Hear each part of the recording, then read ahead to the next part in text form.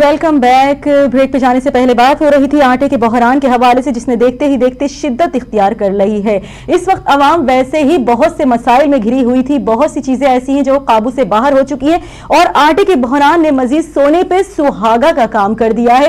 इस वक्त अगर बात की जाए मुल्क के मुख्तलिफ़ सूबों में, बीस किलो आटे के थैले की कीमत भी यकसा नहीं देखने में आ रही है। अगर मार्केट रेट की बात की जाए तो सुबह खैबर पख्तूखवा में आटे की कीमत दीगर सूबों की नस्बत ज़्यादा है। इसी तरह की सूरत हाल डिफरेंट प्लेसेस पर देखने में आ रही है। इसी हवाले से कुछ मजीद बात करने के लिए इस वक्त हमें टेलीफोन कॉल पर ज्वाइन किया है सीनियर जर्नलिस्ट है हुसैन थेबो साहब ने। बहुत शुक्रिया सर फैज टीवी से बात करने के लिए। बात हो रही है आटा बहरान के हवाले से। क्या कहेंगे आप? देखिए जी बात ये ना कि जब से ये खास तौर पे हम्म। जो वार है इसने ज़्यादातर मुतासर किया है पूरे दुनिया को। अब आटे का जो बहरान है इसमें भी उस जंग का बहुत बड़ा अमल दखल है। इस वक्त हमारे मुल्क की जो इकोनॉमिक कंडीशन है वो भी एक मैटर करती है कि हमारे पास पैसे का कुछ थोड़ा सा भुगतान है जिसकी वजह से हम चीज़ें इंपोर्ट नहीं कर पाए टाइम पे और जिसकी वजह से ये भुगतान आए। अब जहाँ तक बात आती है कि जी रेट क्यों नहीं है एक जैसा तो ये तो बेड गवर्नेंस है प्रोवेंस की। हम्म। इस वक्त केपी केपी के में सबसे ज़्यादा जो रेट है वो सबसे ज़्यादा है। जी तो ये के, केपी के गवर्नमेंट का फेल्यूअर है और जो केपी के गवर्नमेंट चलाने वाले लोग हैं हम्म। खासतौर पे हमारे पीटीआई वाले वो बड़ी बड़ी बातें तो कर रहे होते हैं। लेकिन देखिए ये जो आटा है ये बेसिक रियल बेसिक नीड है किसी भी आदमी की। गरीब आवाम ने को और नहीं तो रोटी ज़रूर खानी होती है। बिल्कुल। तो रोटी के लिए आटा ज़रूरी होता है और आटा को कंट्रोल करने के लिए सबसे पहले हुकूमतें अपनी पूरी तवज्जो दें। कि आटे पे कंट्रोल लाया जाए जिसमें वो अभी तक तो फेल है। बिल्कुल। अच्छा हुसैन थे वो साहब विफाकी हुकूमत ने इस हवाले से मामला सूबाई हुकूमतों पर डाल दिया है कि ये मसला मिल्स एसोसिएशन और सूबाई हुकूमतों का आपस का पैदा करदा है ये मामला। क्या कहेंगे एक दूसरे के ऊपर? इल्ज़ाम तराशियों का वही पुराना सिलसिला चल निकला है। आवाम का किसी को कोई ख्याल ही नहीं है। देखिए जी बात ये ना कि इस ऐसी हालात में ऐसे सरकमटेंसेस में जिसमें मुल्क इस वक्त क्रिटिकल सिचुएशन में है हम्म। या किसी को ये राइट नहीं है कि वो प्रोविंस की बात करे या वो वफाक की बात करे अगर आईनी आप बात करेंगे तो टेक्निकली हम्म। अगर देखा जाए तो अब एटीन अमेंडमेंट के बाद now province are independent entity वो अपना अपना रेट मैनेज कर रहे होते हैं अपना अपना फ़ूड डिपार्टमेंट को मैनेज कर रहे होते हैं इसी से आप अंदाज़ा लगा सकते हैं कि जैसे मुख्तलिफ़ प्रोविंस में मुख्तलिफ़ रेट है। इसका मतलब है कि इसको वफाक कंट्रोल नहीं कर रहा। अगर वफाक की डायरेक्शन होती तो एक ही किस्म का रेट होता। तो प्रोविंसेस अलग अलग कंट्रोल कर रहे हैं। इसी हद तक ये वफाक की बात ठीक है। लेकिन इस वक्त हालात ऐसे हैं कि सब लोगों को मिलके और इसका हल ढूंढना पड़ेगा। वो चाहे वफाकी गवर्नमेंट हो चाहे वो सूबाई गवर्नमेंट हो। आवाम को जो अहम ज़रूरत है वो इस वक्त वो रोटी की है बेसिक कहीं ऐसा ना हो कि फ्रांस वाली हालत हो जाए और वो हमारे जो आ, लीडर्स हम्म। हैं हमारे जो रूलर्स हैं वो कहें कि जी रोटी नहीं है तो फिर आप केक खाएँ और केक के बाद फ्रांस में जो हुआ था खुदा न खासा वो ऐसी चीज़ें हमारी लीडरशिप के लिए हमारे पॉलिटिशियन के लिए पाकिस्तान में क्रिएट होती अच्छा थेबो साहब एक ज़रिए मुल्क होने के बावजूद गुजशत दो बरसों से पाकिस्तान अपनी ज़रूरत पूरी करने के लिए गंदम की दरामद पर इहिसार कर रहा है। क्या कहेंगे? जबकि हम ज़रिए मुल्क हैं अपने ही अपने ही लोगों की जरूरियात तो पूरी हो नहीं पा रही यहाँ पर। देखिए जी बात ये ना कि हम पाकिस्तान में तकरीबन 65 टू 70 परसेंट हमारा जो आ, लोग हैं उनका एग्रीकल्चर से वाबस्ता है। लेकिन प्रॉब्लम ये है कि एग्रीकल्चर में हम वो पुराने दौर के पत्थर के दौर की अभी तक टेक्नोलॉजी यूज़ कर रहे हैं। हमारे पास ना तो उन बंदों को कोई ट्रेनिंग है ना तो उन बंदों की कोई डेवलपमेंट है जिसकी वजह से ये सारा फुकदान हो रहा है। अमेरिका में सिर्फ़ और सिर्फ़ सिक्स परसेंट लोग जो है वो एग्रीकल्चर से वाबस्ता हैं। लेकिन वो अपना इतना एग्रीकल्चर प्रोड्यूस करते हैं कि वो उस चीज़ को एक्सपोर्ट भी करते हैं। तो ज़रूरत इस चीज़ की है कि now world is electronics global village आप उसमें टेक्नोलॉजी लाएँ आ, आप एग्रीकल्चर को जो है वो ई एग्रीकल्चर पे ले जाएँ उसके लिए बहुत सारी अपॉर्चुनिटीज़ हमें चाइना ने भी दी है हम्म। और इस एग्रीकल्चर में सीपेक में कुछ प्रोजेक्ट हैं जो आ, कल आके और हमारे एग्रीकल्चर को लेटेस्ट टेक्नोलॉजी के ऊपर ग्रोइंग सिखाएँगे तो लेकिन अभी तक तो हालात बहुत खराब है और गवर्नमेंट को सोचना चाहिए कि हम जो हमारा अहम इंग्रेडिएंट है वो हमारा यूथ है उस पर कोई काम नहीं हो रहा है।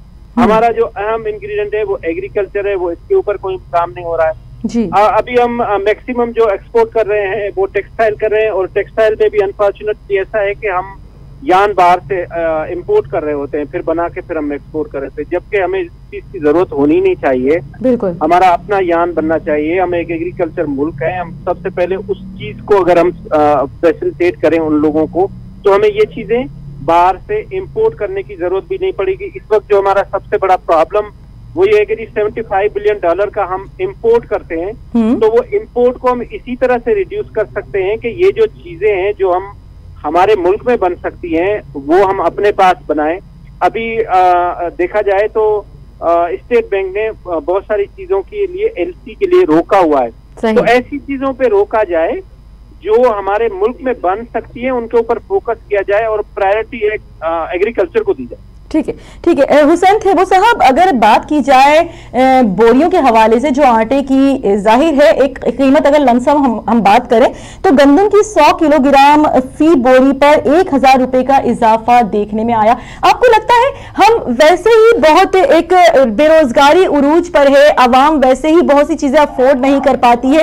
बोरियों में जिस तरीके से हज़ारों रुपए का इजाफा देखने में आ रहा है तो अवाम जाए तो जाए कहाँ, कौन इनकी आवाज़ बनेगा?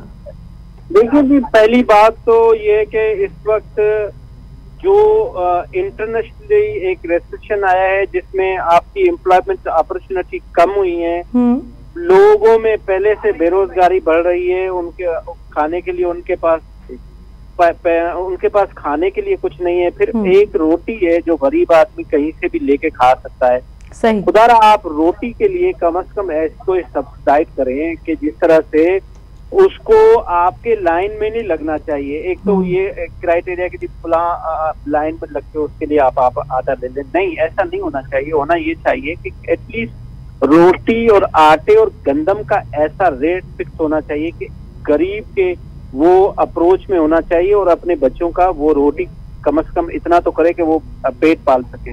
तो ये जो आए दिन आटे के ऊपर रेट बढ़ाया जाता है इसको हुकूमत को सीरियसली सोचना चाहिए और खासतौर पर पीडीएम की जो इस चीज़ों जो फेडरल गवर्नमेंट है उसको सोचना चाहिए कि हम्म। कल उन्होंने इसी आवाम के पास आना है और इन्हीं से वोट लेना है जिनके लिए आज रोटी आ, खाना एक बहुत बड़ा टास्क हो ठीक है। हुसैन ठेबू साहब, फ्लोर मिल्स एसोसिएशन के तर्जुमान के मुताबिक मुल्क भर में गंदम की सप्लाई बर वक्त ना होने की वजह से ये बहरान पैदा हुआ है।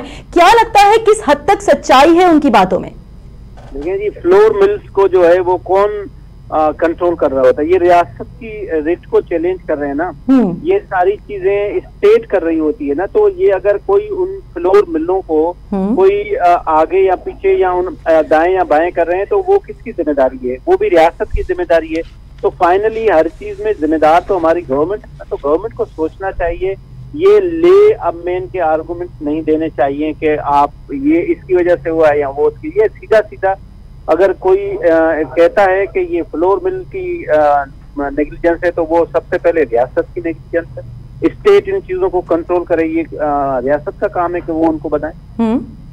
हुसैन ठाकुर साहब पाकिस्तान वो कंट्री है जहाँ पर हज़ारों नहीं बल्कि लाखों मन गंदम चूहे खा जाते हैं तो हम क्या पाकिस्तानी अवाम उन चूहों से भी गए गुजरे हैं जिनको गंदम ही नसीब नहीं हो रहा कि वो अपने घरों में अपने बच्चों को तरीके से रोटी ही खिला सके देखिए ये रियासत को सोचना चाहिए गवर्नमेंट को सोचना चाहिए कि कोई वक्त ऐसा ना आए हम्म। कि ये जो गंदम है ये चूहे खा जाते हैं और इंसान जो जब ये अपने जोश और जलाल में आ जाएँ और ये गंदम उठा के ज़बरदस्ती और अपने घरों ले जाएँ। तो इससे पहले वो चूहों से जान छुड़ा के और अपने घर ले जाएँ। तो रियासत को चाहिए हम्म। कि वो किसी भी तरीके से ऐसी नेग्लिजेंस जो ऑफिसर करते हैं डेफिनेटली ये कोई डिपार्टमेंट होगा ना जिसने स्टोरेज की होगी और उसकी फिर नेग्लिजेंस होगी कि उसकी प्रॉपर ट्रीटमेंट नहीं की होगी। बिल्कुल। ट्रीटमेंट प्लान नहीं बनाया होगा उसके लिए कि उसकी कोई ट्रीटमेंट हो जिसकी वजह से ये सारा नुकसान होता है। तो गवर्नमेंट को सीरियसली सोचना चाहिए कि ऐसी नेग्लिजेंस नहीं हो अदरवाइज़ एक वक्त ऐसा ना आए जब इंसान चूहों से छीन कर खुद खाना शुरू कर दे। अच्छा हुसैन थेबो साहब पीपल्स पार्टी की जानिब से आसान आटा स्कीम, जैसा कि आपको भी मालूम होगा जगह जगह ट्रक्स लगाए जा रहे हैं और वहाँ पर आसान आटा, यानी कि सस्ता आटा प्रोवाइड किया जा रहा है। लेकिन दो रोज, तीन रोज कबल एक वाकया हुआ जिसमें एक आदमी की डेथ हो गई, जो आटे के हसूल के लिए आया था और एक रोज बाद उसकी बेटी की शादी थी। क्या लगता है आपको? क्योंकि वहाँ पे अवाम की जानब से यही कहा जा रहा है कि फेवरिटिज्म की बुनियाद पर आटा दिया जा रहा है लोगों को। देखिए बात ये ना कि जो हमारा पॉलिटिकल सिस्टम है हम्म।